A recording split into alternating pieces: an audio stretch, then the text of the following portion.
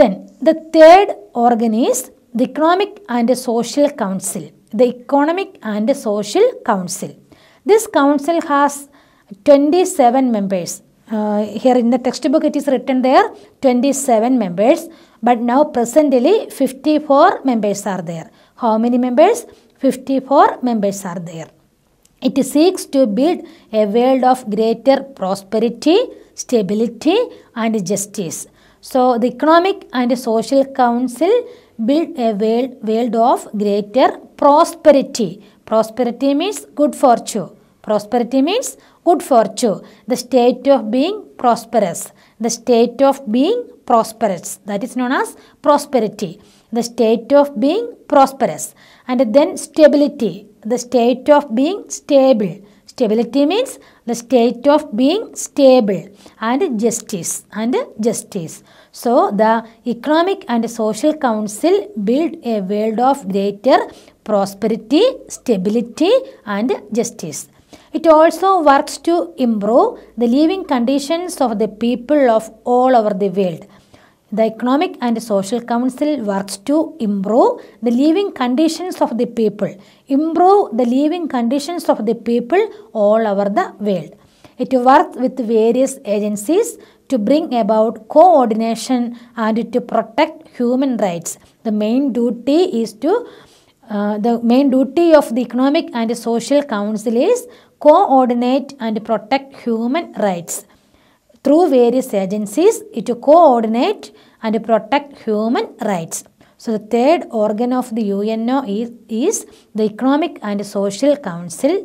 Presently, 54 members are there and it build a world of greater prosperity, stability and justice. And it also works to improve the living conditions of the people of all over the world. And it works with various agencies to bring about coordination and to protect human rights. The fourth organ of the UNO is the Trusteeship Council. The Trusteeship Council. This is a supervisory body. Trusteeship Council is a supervisory body, supervising something, supervisory body. It looks after the progress and welfare of the trust territories. What is the meaning of trust territories? The territories which were once under foreign rule. The territories which were once under foreign rule. The territory under now the trusteeship of the UN. The territory under the trusteeship of the UN. Presently, it is under the trusteeship of the UN. Earlier, it is it was it were actually uh, under foreign rule. So the territories which were once under foreign rule, now the territory under the trusteeship of the UN. This council meets twice a year. This council meets twice a year. The council helps these territories to become more developed and self-reliant. The council helps the territories to become more developed and self-reliant. It organizes free and fair elections in the trust territories. It organizes free and fair elections in the trust territories. So the fourth organ of the UNO is the Trusteeship Council. Trusteeship Council. The fifth organ of the UNO is the International Court of Justice. The International Court of Justice. The purpose of this court is to settle the disputes in a peaceful manner in accordance with the international law. So, accordance with the international law, this court solved the problems, solved the disputes between the nations. Already we know that in our India, some courts are there, district courts, municipal courts, high court, supreme court. Between the states, disputes are happened there. Who will solve it? Supreme courts. So then between the nations, that problems are solved by International Court of Justice. The, the fifth organ of the UNO is the International Court of Justice. The main aim, the main objective of this court is to settle the disputes in a peaceful manner in accordance with the international law. In, a, in accordance with the international law. This court has the authority to decide and settle disputes among nations. So, disputes among nations solved by International Court of Justice. The court has 15 judges. How many judges are there in international courts of justice? 15. 1 5. They, this court has 15 judges. 1 5. 15 judges. They are elected by the General Assembly and Security Council for a period of 9 years. The judges elected by the judges of the International Court of Justice elected by the General Assembly and Security Council. Who elected by the judges of the International Court? General Assembly and the Security Council. For how many periods? For 9 years. For 9 years. The permanent offices of the International Court of Justice are in The Hague in Netherlands. The permanent offices of the International Court of Justice are in where? Hague in Netherlands. The fifth organ of the UNO is the International Court of Justice. The duty, the purpose of the International Court of Justice is to solve the disputes between the nations. How many judges are there? 15 judges are there and it is elected by General Assembly and the Security Council for the period of 9 years. And the office of the International Court of Justice are in Hague in Netherlands. Then the last organ of the UN, which one is the Secretariat. The Secretariat is the sixth organ of the UN. The Secretariat is the administrative body of the UN. The administrative, administrative means the ruling authority, ruling body. The ruling body of the UN is the Secretariat. That is the sixth organ of the UN. It puts into action the work that the other bodies decide upon. This body actually put into action the other bodies decide upon. What are the things are decided by the other bodies? This body actually that uh, enacted, enacted, inaction enacted by the secretariat. And uh, it is headed by the Secretary General. The head of the Secretariat is the Secretary General. He helps the nations to settle their dispute peacefully. The Secretary General helps helps the nations to settle their disputes peacefully. The Secretariat has nearly 40,000 employees. For nearly 40,000 employees are there. Most of the employees of the Secretariat work at the UN headquarters in New York. Where is the UN headquarters? It is in the New York. And uh, who is the present Secretary General of the UN? Do you know that? Who is the present Secretary General of the UN? That is Antonio Guterres. Antonio Guterres. So these are the important organs of the UN. Which are they? There are six organs are there in UN. They are the General Assembly, the Security Council, the Economic and Social Council, the Trusteeship Council, the International Court of Justice and the Secretariat. Now let us study special agencies of the UN. Special agencies of the UN. And already we studied about the organs of the UN. Now we are going to learn about the agencies of the UN. Which are the special agencies of the UN. So besides the organs of the UN, there are some special agencies which work for human progress and welfare. Special agencies are work for what? Work for human progress and welfare. They are the following. Which are they? First one FAO, Food and Agriculture Organization. Food and Agriculture Organization.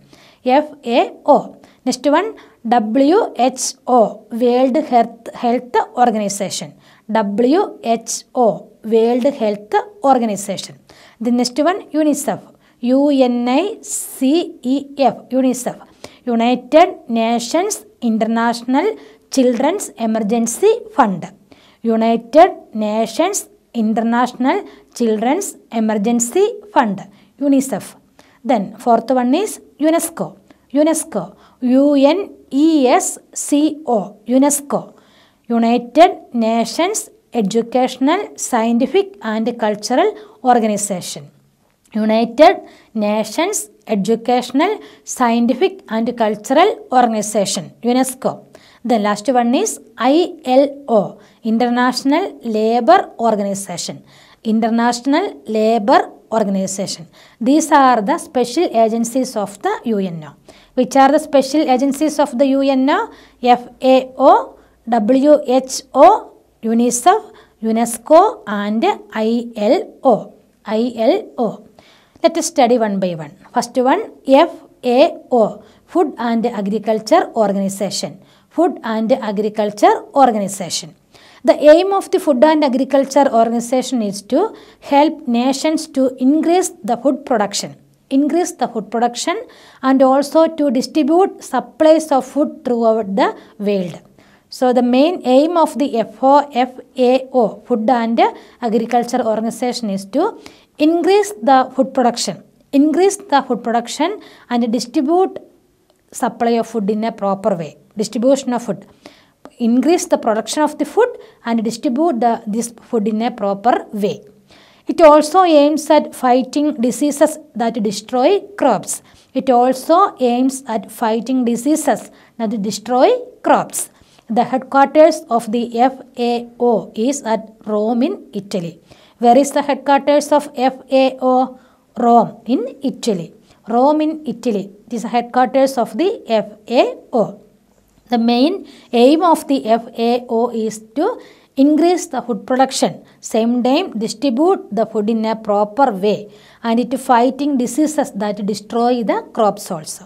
The headquarters of the FAO is in Rome in Italy. Then the second agency of the UN is WHO, World Health Organization. World Health Organization. The World Health Organization aims at fighting diseases and improving both the physical and the mental health conditions of the people all over the world.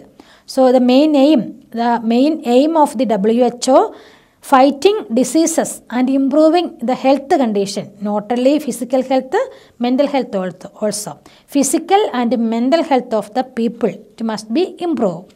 So the main aim of the WHO is to fighting diseases and improving both the physical and the mental health conditions of the people all over the world.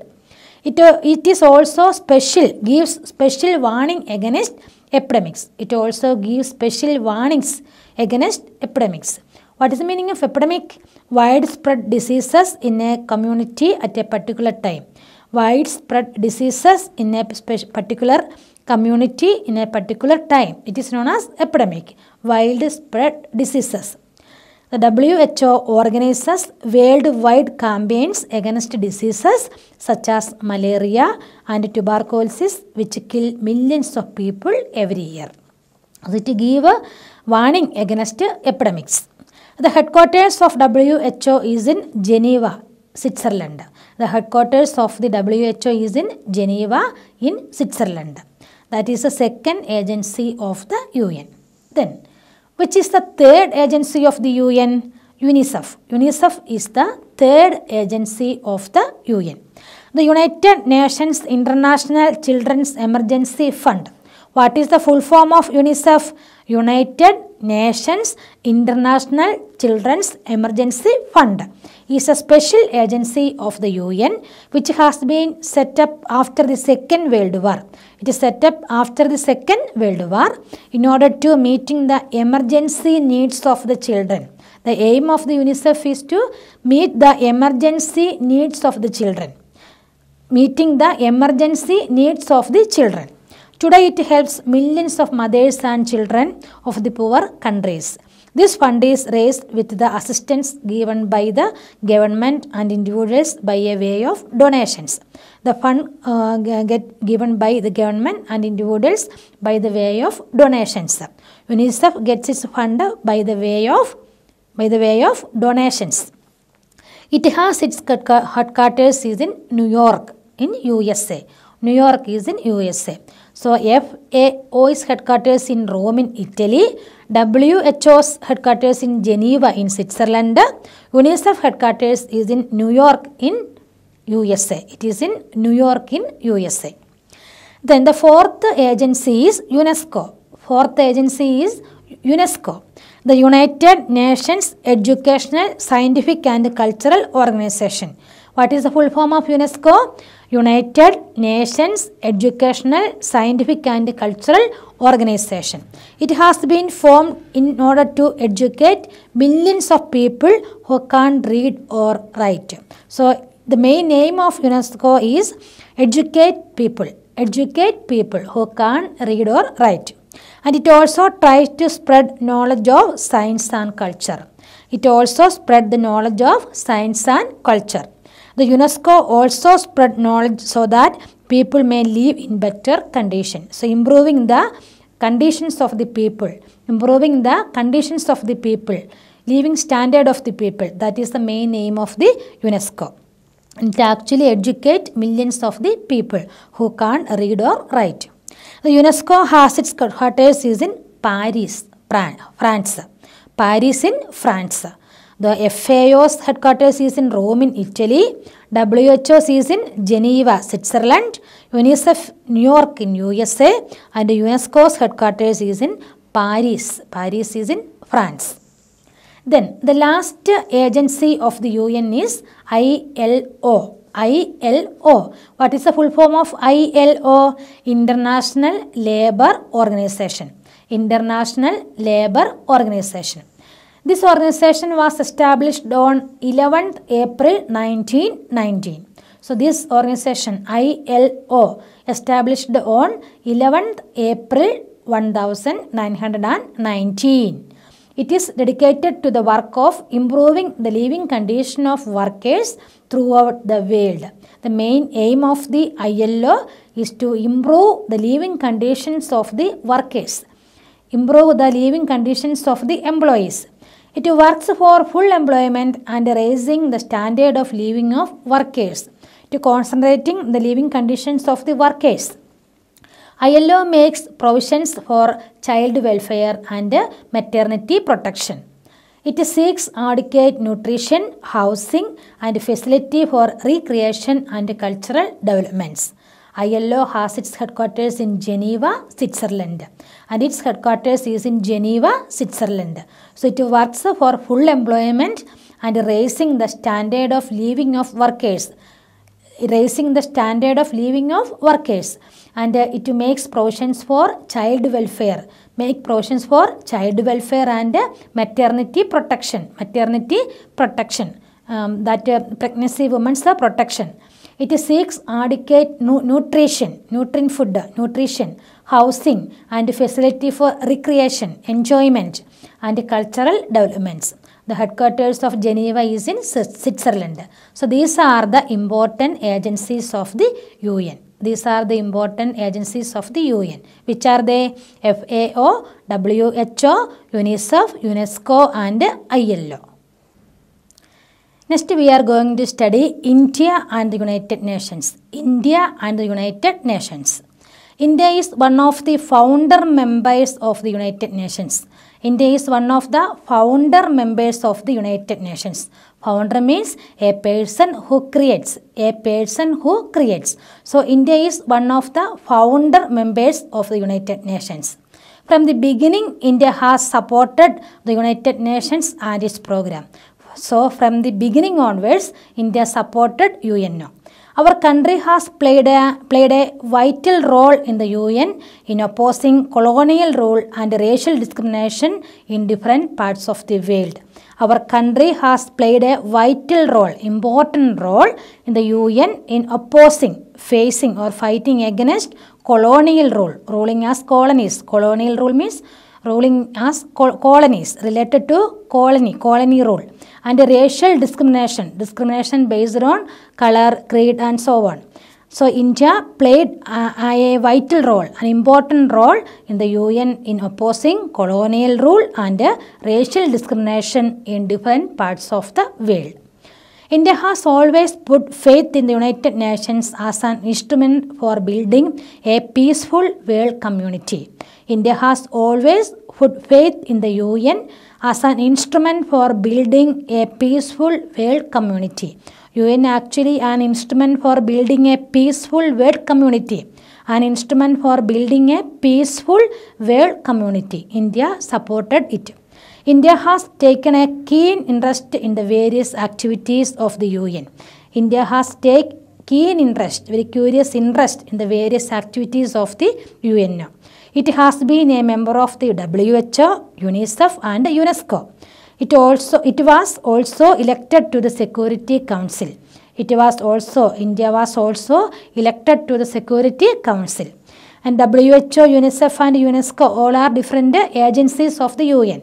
And India has been a member of these agencies also. Then, many Indian experts have worked for the United Nations agencies. Many Indians work for the United Nations agencies.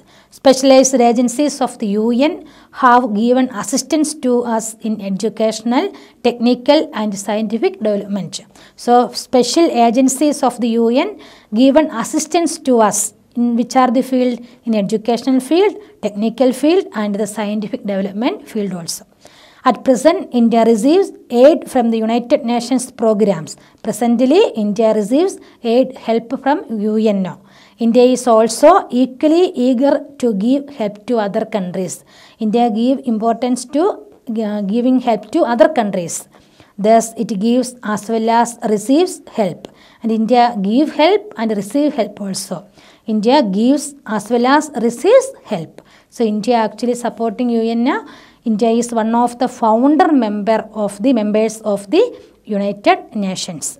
India and the United Nations relation is very strong. India always supporting UN, UN now. So I hope that the chapter is clear. All of you read this chapter four or five times and try to complete the exercise, write the notes neatly and study it. Thank you.